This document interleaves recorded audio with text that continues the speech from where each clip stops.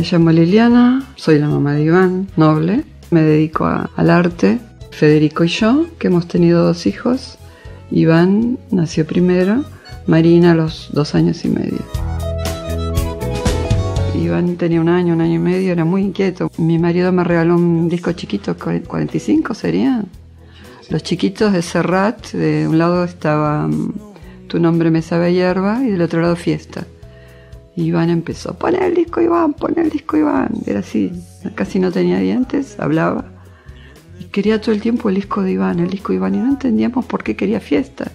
Hasta que nos dimos cuenta de la frasecita esa donde dicen ni banderas de papel, eh, verdes, rojas y amarillas.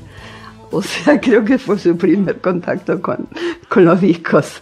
Él creyó que era su disco, hasta que nos dimos cuenta de la frase esa. Y colgaron de un cordel de esquina a esquina un cartel y banderas de papel, verdes, rojas y amarillas.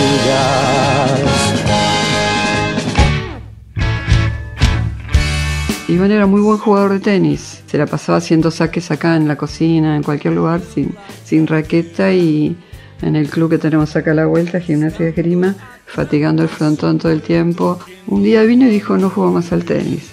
Bien, ¿qué vas a hacer? Quiero una batería. No, una batería no.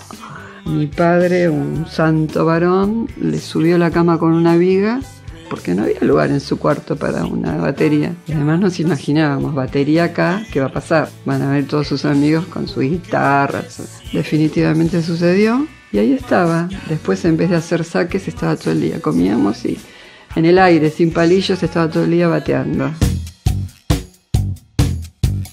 Aprendió a leer a los cuatro años y medio.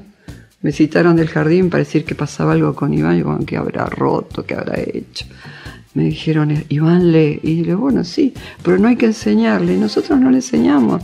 Nosotros le leemos. La verdad que le leemos mucho desde muy chiquito y empezó a leer. Creo que el fútbol fue lo que su fanatismo por Boca lo llevó a leer.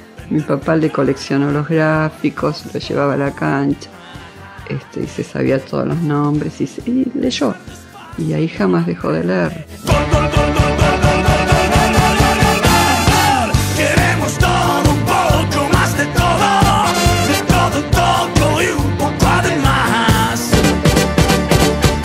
Mira, nosotros tuvimos dos golpes con Iván, dos golpes fuertes. Una fue cuando vino un día, estábamos eh, almorzando y dijo, tengo que decirles algo, eh, voy a dejar la facultad. Yo lo veía venir, eh, le faltaban tres, cuatro materias para terminar sociología. Mi marido casi se muere, pero ¿de qué vas a vivir? ¿Cómo puede ser? Eh, da las materias que te faltan. Dijo, les juro que a mí me va a ir bien, no se preocupen, pero no, ya no me interesa la facultad, lo mío es la música y, bueno, ese fue un gran golpe. Por suerte fue coherente con lo que pensaba y pudo salir adelante. Y el otro fue cuando dijo, dejo caballeros. Y esa fue otra cosa, pero ¿qué vas a hacer como ovejas, caballeros, ahora, en este momento? Que todo está saliendo y que, sí, pero yo ya no estoy para esos saltos, yo ya no estoy para eso. Quiero una cosa más intimista, quiero hacer cosas más que tienen que ver con, con su edad, con su momento. Y fue otro golpe, porque me dijo, ¿ahora qué va a hacer? Y bueno, lo hizo. La noche sacude su alfombra de estrellas se quiere quedar a dormir. Eh, realmente es un tipo muy tranquilo, es un tipo, es contradictorio, yo no entiendo cómo, es un tipo tímido, Iván es, para mí es, tímido, reflexivo. Eh, esas son las cosas que a mí me asombran cuando de golpe lo veo en un escenario, lo miro y, y sigue siendo mi hijo, no, no, no, no, no, es la, para mí no es ese tipo que, que o sea, sí es ese que, veo a la gente alrededor, ¿viste? Las cosas que le dicen, las que le gritan. Es raro, la verdad que es una sensación extraña, pero por otro lado me habitué y la verdad que lo seguimos bastante, salvo que sean esos horarios extraños que, que tocaban cuando eran más jóvenes. Ahora no, ahora es, ya es un señor tranqui en los teatros, ¿no? Lo que me pasa con las canciones de él es que yo me doy cuenta de qué está hablando o de quién está hablando. eh, qué sé yo, yo, este se refiere a tal, uy, este amigo es, Rodrigo, este es... Eh, me pasa eso, eh, a veces fantaseo con qué es eso y por ahí seguramente no lo es. Yo sé quién es la morocha, por ejemplo, o sea, yo veo que la usan para otra historia, que la usan para actos políticos y, y de golpe yo sé que la morocha era una, piba divina que, que, vivió un, dos o tres días en su primera casita de, Castelar, este, que, era Romina.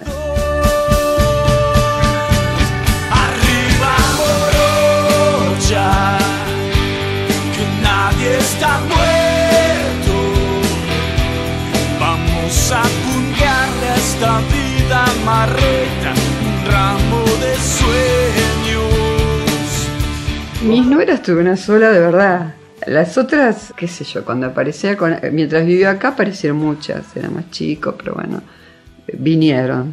Acá aparecían camisones, quedaban camisones, mallas, mi hija se las ponía, intercambiaban. Marina es amiga de muchas de sus ex noviecitas. Yo le decía, no, no, no me presentes a nadie, no quiero saber nada de nadie y no, nada, son tus amigas parece que Iván es un excelente padre, realmente es un tipo de mucha, mucha paciencia, mucha coherencia.